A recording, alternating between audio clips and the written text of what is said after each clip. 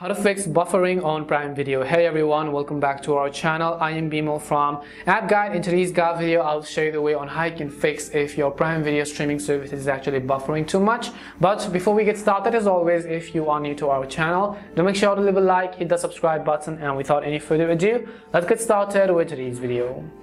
So, your Amazon Prime Video service could actually be buffering due to two reasons and one of the main function or reasons is actually your slow internet connection and other is because you have set it to the maximum quality possible. In order to fix that, first of all, simply verify whether or not your internet connection is working properly. Try to use other social media apps, try to switch your network and see if that fixes the issue. Other than that, we're also going to look through some of the settings within the app which will hopefully get you fix your buffering issues. So first of all, what you just want to do is you want to go ahead and open up the Prime Video application once you open up Prime, you can see this is how it is going to look like. On the very top right corner of the screen, you can see this little Amazon profile icon.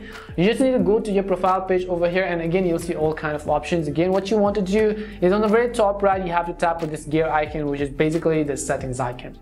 As soon as you go to settings, you'll be able to see a list of various options. And if you look at the top, you have the quality of the option called stream and download. So just go ahead and then select stream and download. Once you do that, at the very top again, you can see streaming quality. So go ahead and select streaming quality. Now the reason you could be facing the buffering issues in Amazon Prime could be because you have set it to the best or the maximum quality possible when you have a very, very slow internet connection. So if you have a slow internet, what I would always recommend you do is to simply set it to good or data saver. That is going to help you save maximum maximum data on your phone without actually reducing also the quality. So just go ahead and select good or data saver if you want. You also want to turn off the toggle which says use highest quality on Wi-Fi. When Amazon Prime tries to use the highest quality on Wi-Fi and when you connect it to Wi-Fi, it is going to actually give you some lags and that could be one of the reasons why you could be facing buffering issues.